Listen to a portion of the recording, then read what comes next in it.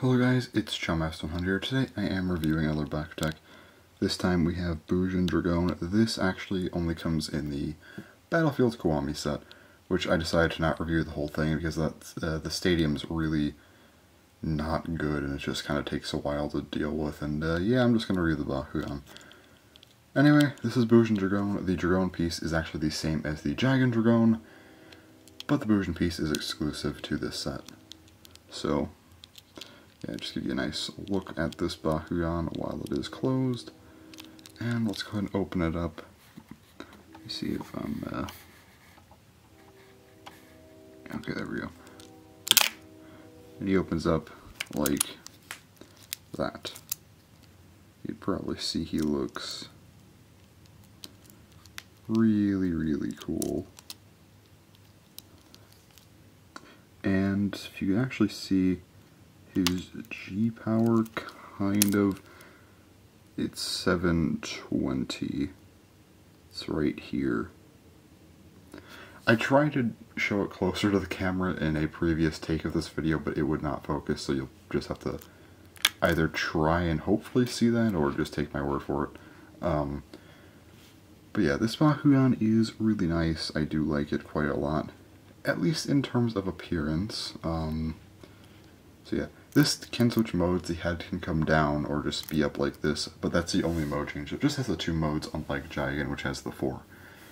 Now then, this Bakugan's a kind of a weird case. I'm just going to say personally, I do give this thing a 9 out of 10. I really like this um, Bakugan. I think it's really cool. I like the Bujin piece a lot. And also the translucent dragon looks cool. Competitively, this thing's weird. So I'm going to give it an... Uh, honestly, I, gotta give this thing like a 9 out of 10 for competitive as well, because it is really good. Like, this thing is insanely good because it is a uh, Dragon, but it does fall a bit flat.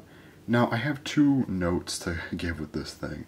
First up, um, while I did get a 9 out of 10, that sounds really good, but there is no reason to use this thing over uh, the original Dragon Dragon because Jigen, that piece is just a lot better than Bujin.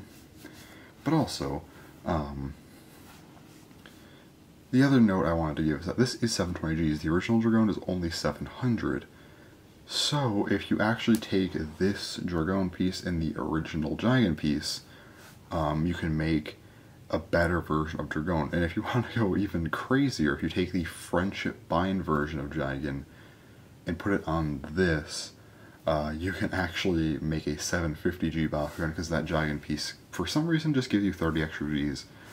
So if you are trying to make a top tier, absolutely perfect deck, um, I guess this is a component that you will need, but I mean, I don't know many people who still play with BakuTech, and if they do, I mean, they probably actually don't play, they're probably just collectors like me.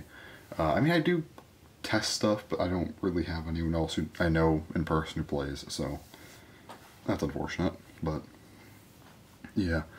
Um, so if you are someone who really, I guess, wants to make like a perfect uh, Dragon Dragon, then yeah, I would recommend this, um, or at least trying to find one of these. If not, it's mostly just a collector's item because Bujin is significantly worse than the original. But yeah, I want to make a review on this guy because, I mean, I've had him for a long time, for over five years now, and I thought, you know, I should probably finally get around to it because I have reviews of the other Dragons, which um, are in various different reviews, such as like the Dragon Legends set, which goes over the first three, and then also I have a review of the Jigen deck, which goes over the, uh, well, regular version of Jigen Dragaon, not this uh, variant of sorts. But yeah, anyways, that's all for this video, so overall, pretty cool Bakugan, who is um, I mean, just really cool and really good, but despite being really good, he's still outclassed. So yeah, anyways, thanks for watching, and bye-bye.